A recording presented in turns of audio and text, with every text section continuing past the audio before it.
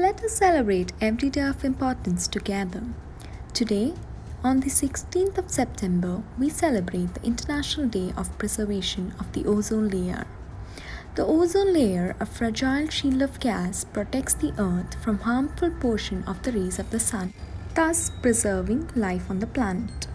The phase out of controlled uses of ozone depleting substances and related reductions have not only helped to protect the ozone layer, it has contributed significantly to global efforts in addressing climate change.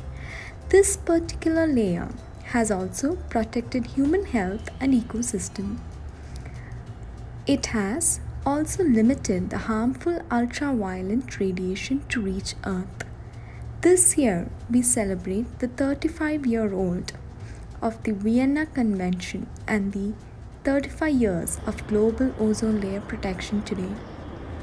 Life on Earth is impossible without sun, but the energy and light emanating from the sun would be too much for the life on Earth to thrive. Were it if not for the ozone layer protecting us so strong?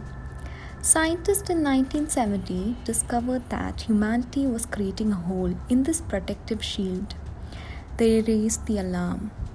In this year of the COVID 19 pandemic that has brought such social and economic hardship, the Ozone Treaty's message of working together in harmony and for collective good is more important than ever. World Ozone Day held on September 16, celebrates the achievement of all collective decisions and action guided by science as the only way to solve this major global crisis. The whole cost ODS, that is, the ozone depleting gases, releases from refrigerators and air conditioners and every other equipment that we use. This also increases the threat to the cases of skin cancer, cataracts, along with damaging plants and crops and the entire ecosystem. The scientific confirmation of the depletion of the ozone layer prompted the international community to take an action to protect our layer. A treaty was signed by 28 countries on 22 March 1985. On 16 September 2009, the Vienna Convention and the Montreal Protocol became the first treaties in the history of United Nations to achieve universal ratification.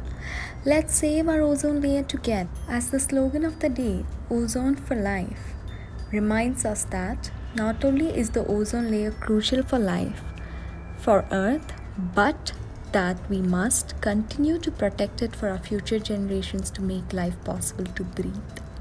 As the day proceeds, do not forget to share it with your loved ones to celebrate this day with pride and make actions that make it possible for us to survive.